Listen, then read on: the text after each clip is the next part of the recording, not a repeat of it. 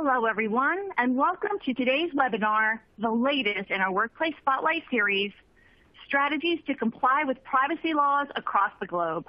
We're excited all of you could join us today. My name is Karen Rasmussen, and I'll be hosting today's session. We'll begin with a few housekeeping items, and then we'll get the presentation started. This is a live streaming event and is being recorded. We'll send you a link to the recording 24 hours after the webinar. To listen to the audio, please plug your headphones into your computer or smart device, or alternatively, make sure your speakers are turned up. While we will not be answering questions until the end of the webcast, time permitting, questions may be submitted anytime during the webcast by entering your question in the Q&A text field and clicking Submit. I would also like to encourage you to complete our short survey by clicking on the checklist survey icon at the bottom of the screen. And a PDF of this presentation is available for download in the resource list next to the presentation slides. Today's webcast is certified for HRCI, SHRM, and CPE credit. For CPE credit, ADP partners with Wolters Kluwer for our CPE learning program. As a reminder, for those that want CPE credit, you will need to respond to all four polling questions that we will have throughout the session to qualify. And going to the link on the screen lets you manage all your courses and access your certificates. I would encourage you to download the presentation slides in the resource area as well, as we have an additional slide at the end to serve as instruction on how to access your certification.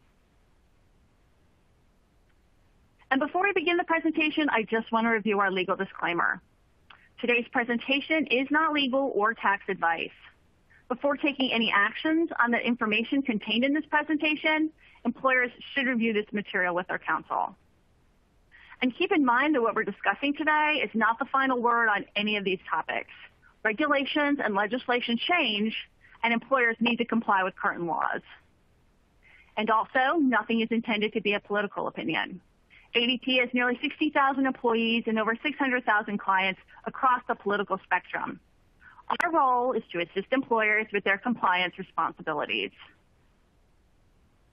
And lastly, I'd just like to quickly review the topics that our speakers will be covering today. First, we're going to begin with an, with an overview of the enforcement of the General Data Protection Regulation, or GDPR, so far.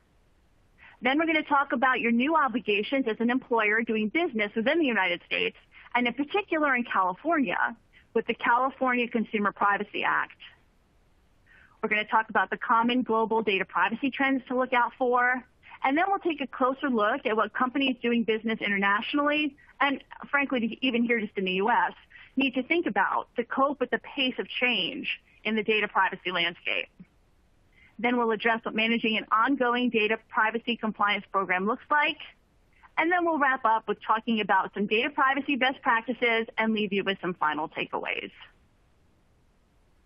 And with that, I'd like to introduce today's speakers.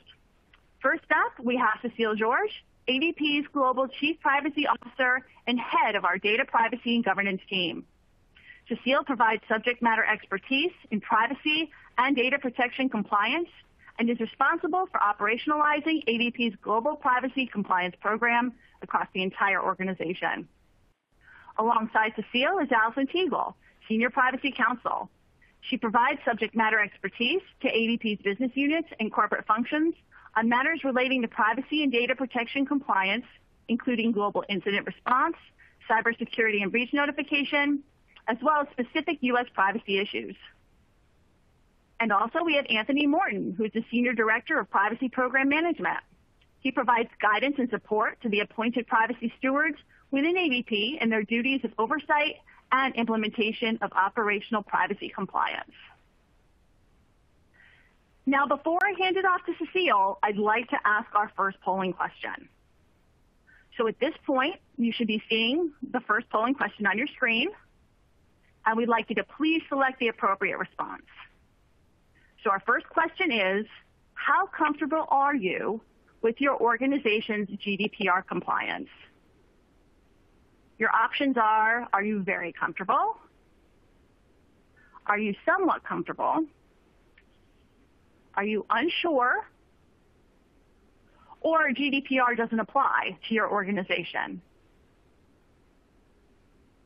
I'm going to give my first CPE reminder. For those of you that would like CPE credit, to please make sure you respond to the question to qualify.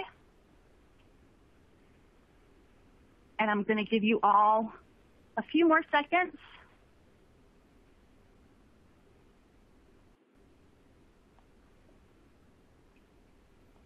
Okay, Cecile, you should be seeing the results on the screen now.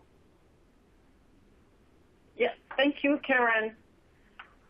Okay, so that's interesting because we have a majority of unsure and somewhat uh, comfortable. So uh, I think that's that's interesting because you're you're right to be very prudent here because it's difficult to assess with uh, certainty the level of compliance with uh, GDPR, which is quite complex and uh, broad regulation. But given the increased level of uh, enforcement of um, uh, enforcement activity of the supervisory authorities in Europe, I'm sure companies are going to have a look at their privacy compliance program and assess what uh, what kind of gaps they need to close to um, to finalize the implementation of GDPR. Because uh, we're going to talk about that uh, in a in a minute. Enforcement is uh, is coming. Yes, thank you, Cecile. That is interesting. So now that GDPR has been in place since last May of last year, um, can you give us a brief rundown of what GDPR enforcement has been like so far? Yes, sure. So as you probably know, GDPR represented a major change in European data protection rules. The implementation of the GDPR in Europe increased awareness around data privacy and data protection, including here in, in the US. By unifying the approach to data protection across the European Union, the regulation sets a kind of precedent being actively followed by other countries. So the fines for non-compliance are extremely serious. Failure to comply with the GDPR can trigger on-site investigation, and a company can be fined up to 20 million euros or 4% of its worldwide revenue, whichever of the two figures happens to be the higher. So yeah, so those are certainly sizable numbers. So are there any other penalties um, that the EU regulators can enforce? Yeah, there are. Regulatory agencies can also impose sanctions such as compliance orders or a full stoppage of personal data processing. And firms can also be private can also face private claims um, for compensation from affected individuals. So as you can see here, there are in fact two sets of fines. 10 million euros or 2% of the worldwide revenue of a company, whichever is the higher, or 20 million euros or 4% of the worldwide revenue, again, whichever is uh, the higher. And of course, these are maximum amounts.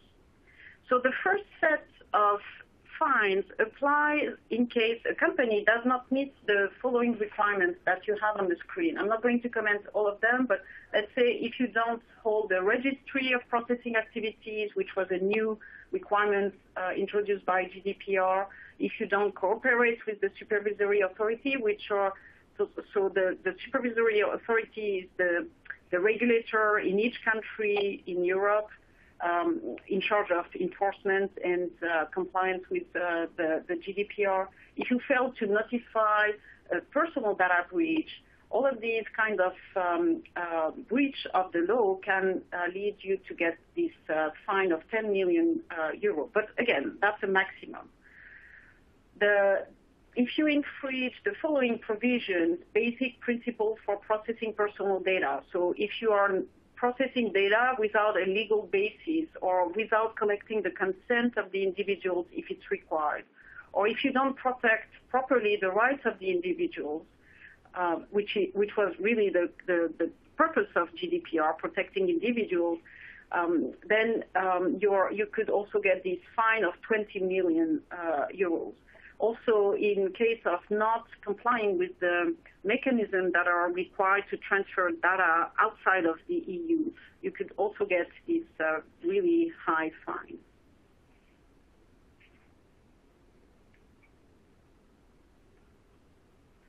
So um, Article 83 of the GDPR provides the list of the various elements that supervisory authorities must take into account when they have to decide whether they apply a fine and what should be the amount. And I'm not going to comment all of these uh, criteria here, but I would recommend that you take a close look at these conditions. First, because it gives you a sense of what matters to the regulators in the EU when they perform their investigations. And we're seeing regulators take these different parameters into account and assess fines very much on a case-by-case basis. These conditions should also be a good driver uh, to define your compliance program and make sure that your program is aligned with what is important for the EU regulators. In case anything wrong happens, it's important to show that you have a compliance program in place that includes the appropriate technical and organizational measures to protect data. It's also important to be able to demonstrate in, a, in case of a breach uh, occurs that this was an accident and not the outcome of a willful misconduct. Thank you, Cecile. So as, as you've talked about, there are certainly high potential fines possible. So what has been the actual enforcement here so far? Yeah, so uh, although most of the requirements were already in place in the countries of the European Union before GDPR, the regulation has harmonized the principles across the Union and perhaps more, most importantly, has increased the enforcement capacity of the data protection authorities. So as of November 13th, so last week, there have been one, 109 fines, but this number is changing almost every day, to be honest with you. So the countries with the most active enforcement have been Germany, Hungary, Czech Republic, and Spain. Um, the highest amount so far that we've seen has been made public by the UK regulator, the ICO, this um, regulator has announced a fine of more than 200 million euro related to a cybersecurity incident. But the amount is not final yet and has not been confirmed. Uh, we recently um, saw also the German, one of the German regulators, because in Germany there are um, regulators uh, for each of the lenders in uh, Germany, but one of them levied a fine of 14.5 million euros against a real estate company for failure to comply with the privacy by design principles because this company was not deleting data after a certain period of time. And even though the company no longer needed such data. Uh, here, what is interesting with Germany, uh, and some of you may have noticed that, they have recently um, issued um, um, a model to calculate fines and harmonize the way the German regulators across Germany will, uh, will calculate those fines. So it's a kind of complex model based on a five-step approach. And they said that they have issued this model temporarily until the, um, the European Data Protection Board, which is the, the committee that is, or the body gathering all the data protection authorities across Europe, until this board will issue guidelines at European level. So uh, it's going to be interesting to see if similar approach as the German one will be adopted at European level. Also, I wanted to mention uh, the French DPA, the French Data Protection Authority, the CNIL, issued a fine against uh, one of the big tech company um, for 50 million euros.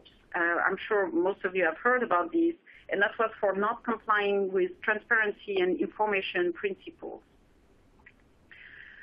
As far as uh, what types of fines we uh, seeing most often, they are related to either the lack of legal basis for data processing, the insufficient technical and uh, organizational measures to ensure information security, or failure to fulfill individual rights. So to be clear, so far we have not seen anything near to the 4% total worldwide revenue of a company that I was mentioning earlier, the, uh, the activity is increasing, the enforcement activity is increasing. So it will be interesting to continue to monitor uh, what the various regulators across Europe are going to do. Yes, thank you so much, Cecile. And I know it's helpful to our audience, especially to know, you know, what the most frequent types of fines are. So at this point, we're going to switch gears and we're going to talk about new obligations that we're seeing here in the U.S., particularly in California. But before I pass it off to Allison, I'd like to ask our second polling question. So at this point, you all should be seeing uh, the second question on your screen and we'd like you to please select the appropriate response. So our second polling question is, how prepared is your organization in complying with the CCPA, or also called the California Consumer Privacy Act? Are you very comfortable with where your organization is? Oh, I'm sorry, are you adequately prepared? Are you somewhat prepared? Are you not prepared? Are you unsure? Or do you think CCPA doesn't apply to your organization? I'm going to give you all several seconds to respond. And I'm going to give my second CPE reminder for those of you that would like CPE credit to please make sure you respond to the question to qualify. And if you do have any issues seeing the polling question um, or answering, you can submit the answer in the Q&A text field is fine as well. a couple more seconds. Okay, Allison, at this point you should be seeing the results. Yes, thank you, Karen. So these results are interesting. It looks like uh, the majority, 35%, are unsure with respect to CCPA, and 25% are somewhat prepared. So it, it's a real mix. But it's okay because it's not too late.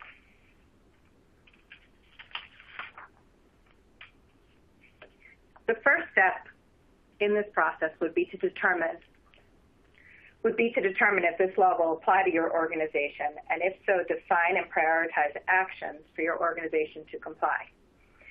Certain aspects of the law go into effect on January 1st.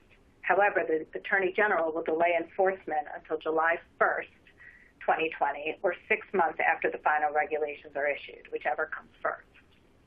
Despite being passed last June, this law is still evolving. Draft regulations, which were intended to provide rules to interpret and implement the law, were just published by the California Attorney General in October. The Attorney General will be holding four public hearings across California in early December to collect additional feedback from interested parties and is accepting written comments until December 6th. We should then expect to see final regulations published, but we don't yet have a time frame. In any event, certain components of the law will go into effect on January 1st, 2020. Beginning to define the actions needed for compliance will permit your company to organize and start down the path and define priorities. As an example, one of the first actions in your plan could be to ensure you have the appropriate privacy notices in place and to prepare a disclosure notice to your employees.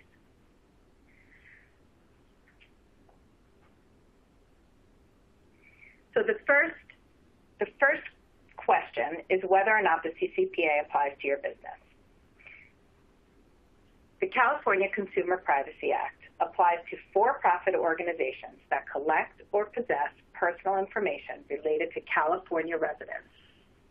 And the organization either has annual gross revenues over $25 million or annually buys, receives, sells, or shares for commercial purposes, alone or in combination, the personal information of 50,000 or more California consumers, households, or devices, or derives 50% or more of its annual revenues from selling consumers' personal information. Advocates note that even small businesses may qualify under these thresholds. For example, a small store that is open just 12 hours per day would meet the 50,000 records measure if they have an average of more than 12 transactions per hour. Or, similarly, if the business primarily involves transactions that would be considered a sale under the CCPA, it would also apply. A critical first step is to determine if you are a business as defined by the CCPA. You could also be considered a service provider or a third party, in which case your obligations will be different.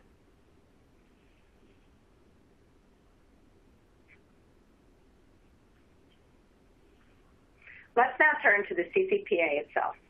The CCPA is the first U.S.-based privacy law that applies across industries and imposes privacy and security requirements for organizations handling California consumer data, including employee data.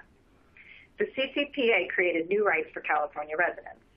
California residents now have the right to be informed by covered businesses of the collection and disclosure of their personal information, the right to gain access to their personal information that is collected by a business, the right to request that such information be deleted in certain circumstances, and also the right to opt out of the sale of their personal information by a covered business, as the term sale is defined, which is quite broad and not how the average person may think.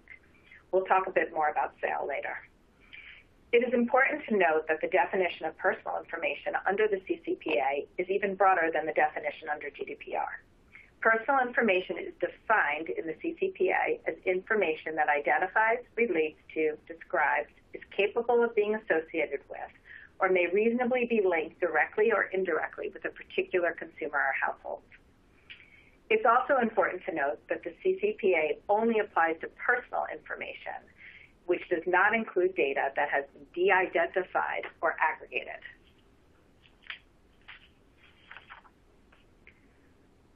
While the CCPA does not include new requirements related to the notification of data breaches, it does include new remedies for data breaches that you should be aware of. California has had a data breach notification law in effect since the early 2000s and was in fact the first state to pass such a law. The CCPA adds a private right of action related to data breaches. This will enable consumers who have been advised that their data was involved in a data breach to bring lawsuits against a business when certain conditions are met. A data breach only occurs under California law when a limited subset or certain types of data are involved. Additionally, the new law also provides for statutory damages ranging from $100 to $750 per consumer per violation. When these certain requirements have been met, the law also does not require that the consumer prove that any harm occurred as a result of the data breach, which has typically been the case in current litigation related to data breaches. I also want to bring your attention to some key dates related to the CCPA. The CCPA goes into effect on January 1st, 2020, but only certain aspects of the law at that time, such as the private right of action we just talked about. The Attorney General has delayed enforcement of the law until July 1st, 2020. This will provide the Attorney General time to issue its final regulations and give businesses more time to meet its compliance obligations. Two amendments to the CCPA have also been passed. They were passed in October and they have significance. On September 13th, 2019, the California legislature adopted Assembly Bill 25, known as AB 25, which provides for a one-year delay in the application of most of the requirements of the CCPA to employers and employment records. This amendment was signed by the California governor on October 11th and officially passed. It is important to note that this employee data exemption is temporary and expires on January 1st, 2021, unless it is extended. Businesses relying on this carve-out for employment data, however, must still provide a privacy notice at the time they collect personal information, and consumers still retain their rights to institute civil actions and recover damages in connection with a data breach. Effective January 1st, 2020, this means that any business covered by the CCPA with California resident employees will be required to provide a notice at the time of or before collection of personal information to employees, which include individuals, who are job applicants, contractors, owners, or directors. This disclosure is required to include the categories of personal information collected and processed in the context of the employment relationship and the purposes for which these categories of personal information shall be used. If you are covered by the CCPA as an employer, you will need to create or update your public-facing and or internal-facing privacy policy to include the required disclosures. Consider where your job applicant data is collected and how you regularly communicate with employees and independent contractors, whether online or offline. Let's now turn to the other amendment, AB 1355, which was also adopted on October 11, 2019. This amendment also created a one-year temporary carve-out for personal information belonging to a business contact that is collected as part of a business-to-business exchange. This amendment also expires on January 1st, 2021, unless also extended. Business contact data includes business-to-business communications and transactions involving due diligence or regarding products or services. The actual definition under AB 1355 is personal information belonging to a business contact is not subject to the CCPA requirements if, one, the personal information collected relates to a consumer who is an employee, owner, director, officer, or contractor of a business, and two, the personal information is provided as part of a communication or a transaction between the consumer and a third-party business, and three, the third-party business is engaged in communication or transaction solely for the purpose of either one, conducting due diligence about the consumer's business, or two, providing or receiving goods or services to the consumer's business. It is important to note that the carve-out does not affect marketing communications or other business-to-business communications that do not involve providing or receiving a service. The AB 1355 exemption can significantly narrow compliance obligations under CCPA for covered businesses. However, businesses relying on this carve-out must still comply with the do not sell obligations of the CCPA, and like AB 25, consumers still retain their rights to institute civil actions and recover damages in connection with a data breach.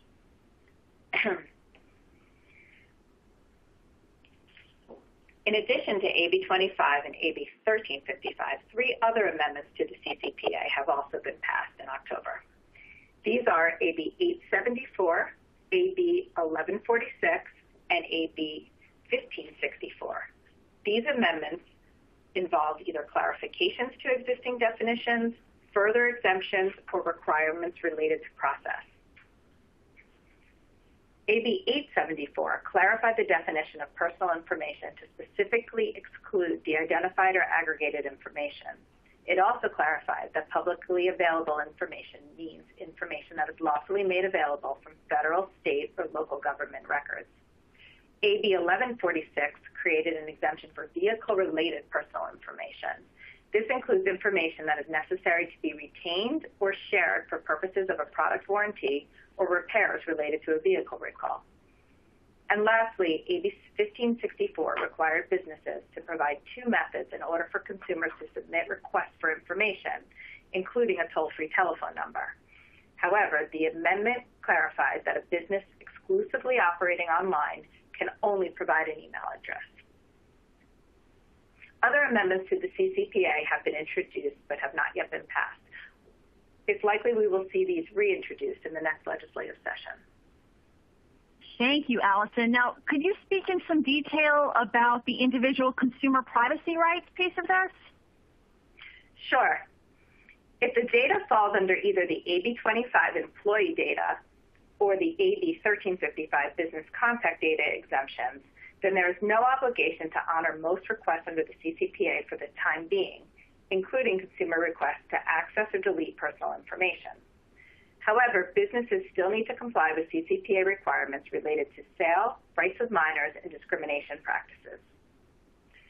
The CCPA itself and the draft regulations also provide specific requirements on how businesses, as well as service providers and third parties, need to respond to consumer requests to know, as they're being called. This is based on how the company interacts with the consumer. The regulations also include appropriate steps to take in order to verify consumer requests before responding.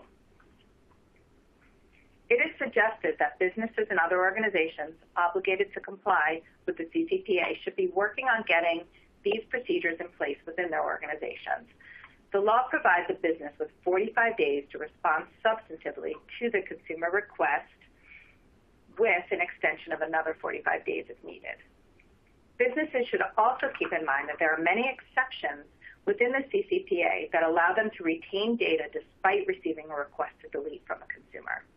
Therefore, businesses should be reviewing their existing procedures and practices for retention and destruction of data or implementing new ones. Also, one of the rights we touched on earlier provided by the CCPA is the ability for consumers to opt out of the sale of their personal data. The definition of sale under the CCPA is very broad. As a result, many of the instances when employers provide personal data to a service provider or vendor in support of the employment relationship could be considered a sale unless the data is shared pursuant to a service agreement between those parties that limits the service provider's use of the personal data that is provided. Employers may have to track and manage such opt-out requests, and in order to comply, may need to add a button or link on its application websites where users can opt out. If you collect data of minors, of minors, there are also additional obligations related to sale and age to be mindful of. And businesses should also be mindful of the explicit requirement that businesses cannot discriminate against any consumer who exercises a right under the CCPA. This includes denying goods or services, charging different prices or rates, or providing different levels of quality of their goods or services. The CCPA requires specific notices to consumers that address these rights. Businesses should compare existing notices and disclosures against the CCPA's very specific disclosure requirements. It is important for you to understand what personal information and how your business collects that personal information, as well as storing and processing it, and also for what purposes. Thank you, Allison. That's a lot for employers to think about. Now, can you talk about some of the other privacy law trends that you're seeing in the same states? Do we have anyone following California's lead here? Yes, we do. Now that we have GDPR and CCPA, we fully expect other states to follow California's lead and either amend existing laws that are already out there with privacy protections or introduce their own state privacy law. While all the laws we have seen to date appear to be modeled or inspired by the GDPR, they each contain different requirements and a different scope. Businesses need to review each law carefully that applies to them to understand their specific obligations. In essence, we are beginning to see a true paradigm shift in the U.S. that businesses need to get ready for. The expectation of consumers is for companies to be cognizant of privacy principles and provide transparency and control to its customers regarding their personal information. The idea of a federal law has also been introduced in the U.S., but is unlikely that one will be adopted soon. To date, we are aware of 17 other states who have proposed laws and these laws are all at varying stages in the legislative process. Two of these states, Maine and Nevada, have already passed their respective laws. The Maine law only applies to ISPs or internet service providers and contains opt-in requirements, not opt-out like the CCPA, from consumers before using, disclosing, selling, or accessing their personal information. The Nevada law, which became effective in October 2019, and amended its existing online privacy law. It adds a requirement that operators of internet websites or online services provide an opt-out excuse me, of a sale of a consumer's personal information. However, the definition of sale and consumer is much narrower than what's contained in the CCPA. And the law includes additional exemptions and carve-outs based on a consumer's reasonable expectations for their data. Wow, thank you, Allison. So there is obviously a significant amount of activity happening at the state level, as you've covered. So before I hand it back off to, to Cecile to talk about what's happening, uh, you know, some of these common global data privacy trends that we need to look out for, I'm going to ask our third uh, polling question for the session today. So at this point, you should be seeing the third polling question on your screen and we'd like you to please select the appropriate response.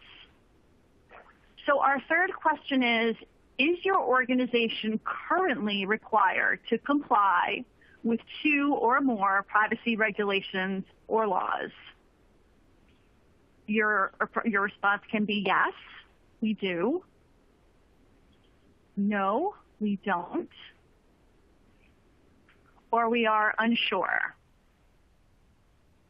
Sounds like there's a lot of activity going on, so it'll be interesting to hear and see the results of this particular survey. And I'm going to give my third CPE reminder. For those of you that would like CPE credit, to please make sure you respond to the question to qualify. Let me give you all uh, five more seconds.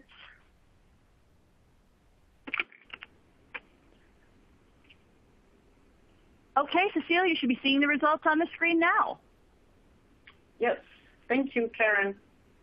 Okay, so majority of you have answered uh, yes. And um, that's interesting because as companies are expanding geographically, they really have to take privacy into consideration as part of their due diligence because um, um, um actually, I think currently you have probably less than 80 countries around the globe that have no privacy regulation at all. So that means that the vast majority of uh, countries across the, the globe have implemented either uh, partial or sectorial privacy laws or comprehensive privacy laws. So clearly, uh, when companies do their due diligence before setting up a business in a new country, it's it's uh, really um, rare that they wouldn't encounter uh, privacy requirements. So they should include that in their um, in their process. Okay. So regarding the trends, as we, just said, there is no doubt that GDPR has influenced privacy legislation outside of the European Union and um, has become, in fact, the, the benchmark for data privacy laws around the globe it's really interesting to notice that now any new law that is uh, passed or adopted anywhere on the planet is uh, very likely to be compared to GDPR. Notably, Brazil's data protection law, LGPD, which mirrors the structure of the GDPR and grants similar types of rights as the GDPR does. It also creates a data protection authority that is expected to provide guidance, uh, as to how implement this new law, which will be the first data privacy law in Brazil. And uh, the LGPD must be enforced by August 2020. Allison spoke about CCPA, which was clearly influenced by GDPR, even if it's not identical, that's um, clear. As privacy laws continues, continue to, to be adopted by uh, a vast majority of countries, we, we could assume that it will become easier to move data across borders. Instead, uh, companies are facing potential hurdles as some countries have restricted or are planning to restrict the cross-border transfer of personal information by imposing various forms of data localization.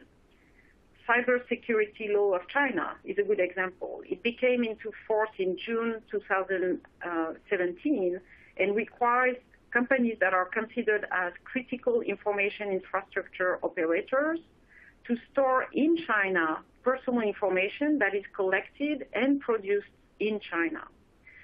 So the data can be sent outside of China, but there are strict conditions. The, C, the, the CIIO, Critical Information Infrastructure Operators, uh, have to proceed with a security assessment that must be reviewed by the Chinese authorities. If you're not considered as a CIIO, but just as a network operators, which are defined as um, parties who own or administer a computer network in China, you will also have to perform self-security assessments. So the law also creates some privacy rights, but it's more focused on cybersecurity. Um, this law was passed in June 2017, but the regulations have not been finalized yet. So it's really uh, recommended to monitor the changes that are going on in China. In India, the IT Act regulations, which was passed in 2011, that already provide privacy rights. But the government has released a draft law that will be more stringent and if passed, will impose stringent data localization requirements for personal information. The expectation is that this uh, new law in India will be passed in the spring of 2020. Uh, staying in Asia, the most recently enacted privacy law was adopted in Thailand and will become effective in May 2020.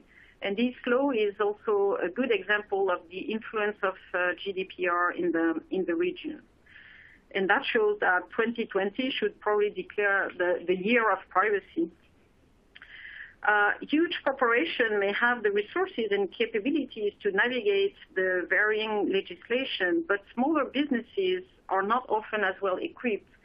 So even if the main focus is on protecting consumers in the wake of all of these publicly known scandals that I won't uh, mention, most of these new laws also have an impact on the way companies have to handle their employee personal information. So you, you, you have to monitor these laws even from an HR standpoint.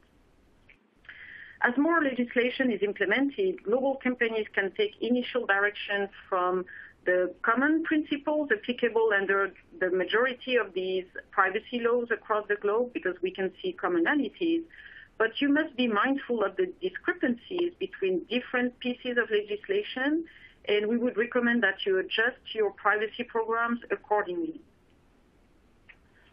Thank you, Cecile. So the activity is happening very much at the global level as well.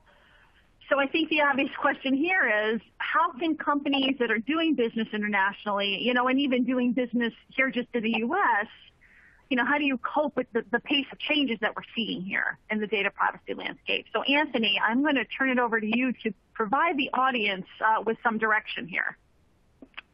Sure. Thank you, Karen. I, think Cecile alluded to it, right, a little bit um, in her closing sentence, right? It is a privacy program that will help you uh, manage this this complex landscape of, uh, of changing legislation. So um, I, am going to go through a few slides here, but uh, I, I, don't want to minimize the, the, the, complexity of building a privacy program from scratch if you haven't done that. Uh, there are a number of variables that need to be considered and decided upon uh, based upon your organizational structure and risk. Before an organization can decide on which model to use, they first have to identify and understand their own privacy risk right? These privacy risks have a direct relationship with the organization's business model, services it provides to its customers and employees. Items like where an organization does business, the type and the amount of personal data it processes, and the data subjects involved help to further define the risk. Leveraging this analysis, the organization can begin designing the privacy program. There are several industry-recognized models for building a privacy team or a privacy office within an organization. Uh, some of those models include a centralized model, which leverages a single privacy leader or privacy team for the organization. There's also the notion of a decentralized model, where the organization may have distributed responsibility for privacy to key individual teams throughout the organization. Or there's a hybrid model, right, which incorporates items from both models. The key is to find a model that works best for your organization. There really is no one size fits all, so you'll, you'll have to assess um, which model really works for you. As you build out your program, another key task is to identify and implement your core privacy principles. We've heard this mentioned a couple of times through Allison and Cecile, but your core privacy principles are derived from what the organization views as essential principles that um, that your company can leverage in complying with multiple regulations. These principles should be derived from guidance and requirements from the different regulations and laws that you have to comply with. The establishment of these principles in your program will enable the organization to react and respond faster to new and emerging regulations and laws. On the next slide, we'll look at a few common principles based on existing regulations and established privacy frameworks. But I wanted to cover this next phase on the slide depicts the need to perform a gap assessment against the privacy principles you've identified.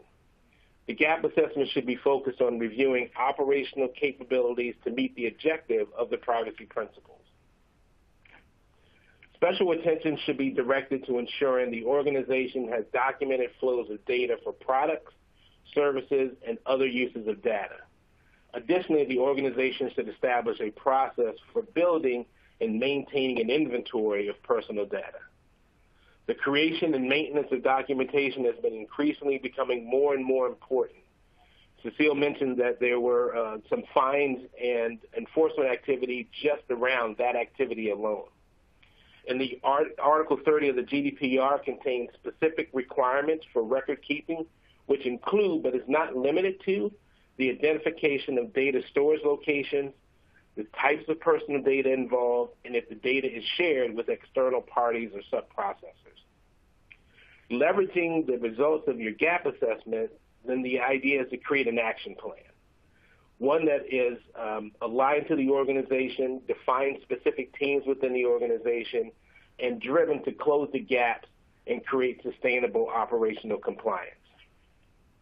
Create the action plan in collaboration with your stakeholders. Their input will be valuable to ensuring the gap is closed. You also need their buy-in and support. Use working sessions to communicate the privacy principles, the requirements associated with each principle, and the identified gaps. During the working session, the privacy team can provide guidance and collaborate with stakeholders on the development of solutions to close the gaps. The outcome of your working session should be a defined action plan with uh, documented actions, owners, and targets for completion dates. Develop your plan to execute on the actions, monitor the progress of completion, and regularly report on progress to leadership. The privacy team should support the execution of the action plan by providing guidance and clarity on the requirements.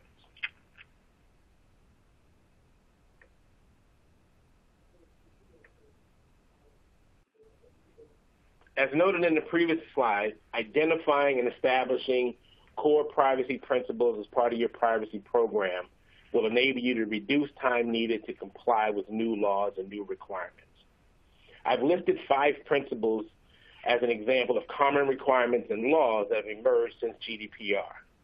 You may also find these principles either in whole or in part in other frameworks like generally accepted privacy principles, or also known as GAP, and privacy by design. The key takeaway is that the principles have to align to the organization and the organization's program. Again, there's no one-size-fits-all solution to developing a privacy program. Expect that you need to develop a customized solution for your organization. I don't want to read all of these to you, but I do want to highlight a couple of specific items, two that anchor this list. First is transparency. The description seems very simple. However, this may be more complex for some organizations. In order to develop an accurate and effective notice, you would need to have an in-depth understanding of how personal data is collected, processed, disclosed, retained, and purged by your organization. And mentioning data purge brings me to my second principle, data retention. Organizations have to review their data retention and data purge practices, including but not limited to determining the various legal requirements that are applicable to the personal data it's processing. For example, balancing the requirements for maintaining an individual's employment record given, within a given jurisdiction with an individual's right to request to have their personal data purged in the same jurisdiction the organization is going to have to fully understand which of the two statutes takes precedence, document the rationale or position, and create a process to operationalize data retention and data purge.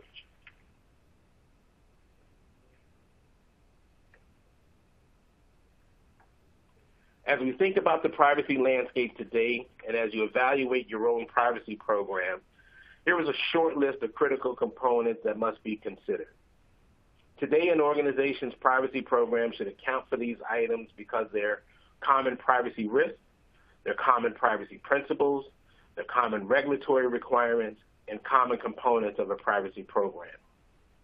One item on this list should be of particular interest to the group, data subject request.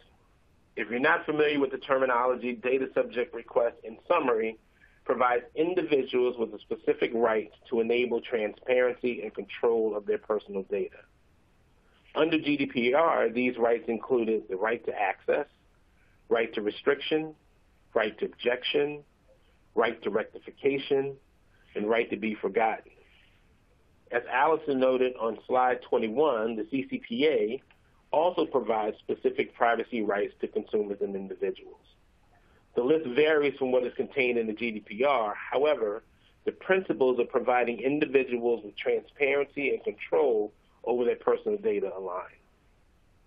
Each law defines specific requirements for logging, tracking, and responding to requests from individuals. Additionally, each includes a time frame for what must be met by the controller.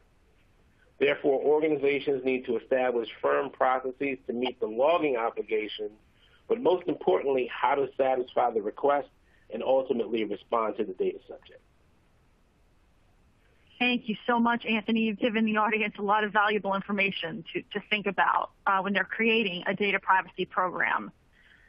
Now, before I pass it back to Anthony to talk about managing an ongoing data privacy compliance program, we're going to have our final polling question today. So at this point, you all should be seeing the final polling question on your screen, and I'd like you to please select the appropriate response. So our last question of the day is, do you have a formal plan in place already to monitor your privacy operational practices in your organization? So your possible responses are yes, we do. No, we do not. Or you are unsure. And I'm also going to give my final CPE reminder for those of you that would like CPE credit to please make sure you respond to the question to qualify. Give you all just a couple of more seconds.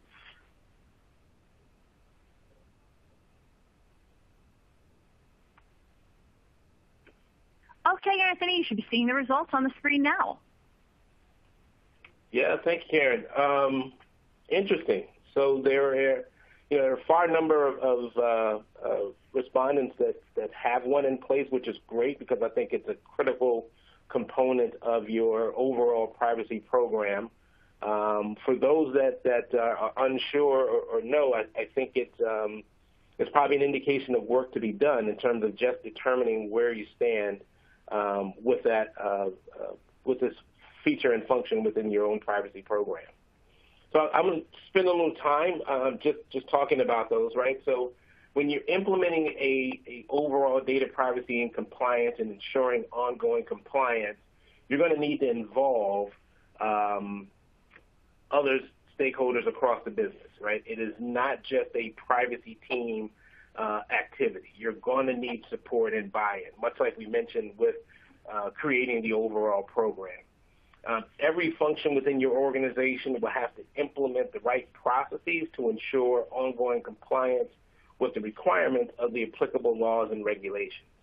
This means that your other teams, such as HR and uh, legal and IT, security, um, if it applies to you, sales and procurement, or maybe some other functions that aren't on this list, you'll need to work with and work together with to ensure the processes you put in place today can be sustained going forward.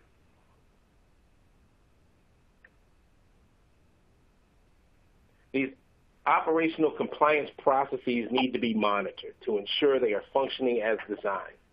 This phase of the program is really referred to as demonstrating privacy compliance. You'll also hear referred to as accountability. Uh, but what does what does this mean? If you're unfamiliar with the term, the, the concept of privacy accountability uh, is defined as an organization being responsible for privacy by implementing an effective privacy program maintaining compliance, and being able to demonstrate that they're doing both. In other words, the organization has to be responsible for the personal information and to be able to account for it. This can be achieved by establishing criteria that demonstrates that the operational process is functioning as expected, determining what type of level of evidence is required to satisfy the criteria, and lastly, setting up regular touch points to engage with your process owners and collect evidence. Publish scorecards and metrics to demonstrate how your program is operating and the level of success maintained across the organization. This activity can be done very easily with MS Excel or there are sophisticated um, commercial packages that you could also buy. The key is to establish the criteria, determine who within the organization is accountable for a given process, or ensuring that a given process is working as designed, and communicate the monitoring frequency and the schedule.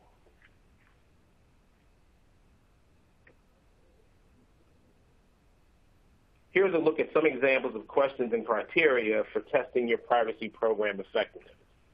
You should see alignment between the questions, the privacy principles that we covered, and the critical components we reviewed earlier.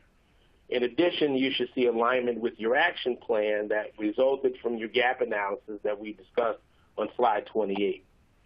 In the context of payroll and HR, these questions would suggest that you've taken steps to create an inventory of personal data, identified access controls for the data, implemented appropriate security controls, and define data retention periods. You've identified and documented data flows, including cross-border uh, data transfers. Also, that you've engaged with the suppliers, with your suppliers and sub-processors who are processing personal data on your behalf. And that in case of a data breach, you are prepared to respond with a plan. A successful monitoring program will enable the privacy team to demonstrate to both internal and external stakeholder the organization's commitment to privacy compliance. Furthermore, if contacted by a regulator, the data derived from the monitoring program, again, demonstrates the level of importance the organization has placed on privacy. Compliance. Thank you so much, Anthony, for all that valuable information. And thank you, um, Cecile and Allison, for your insights into all these new regulations and all the activity going on. So we have obviously covered a lot of material today, and we've left you with much to think about and plan for to prepare for CCPA, you know, and any additional regulations that may be passed. And it can be a bit overwhelming, so we thought it would be valuable to leave you with some key takeaways to think about you know, as you move forward in your data privacy plan preparations. So as Cecile opened up with, you know, when talking about the enforcement of GDPR, while we may not be seeing those hefty fines at this point that are possible, activity and enforcement is high. So it's important that employers, you know, continue to comply with this regulation. And as you can see, you know, GDPR clearly signified a paradigm shift across the globe and in the U.S., you know, starting with CCPA, which, as Allison addressed, you know, it gives California residents privacy rights, including to access, to request deletion of their personal information, to portability, and to opt out of the sale of their personal information. And as she talked about, sale can have, you know, a very broad definition.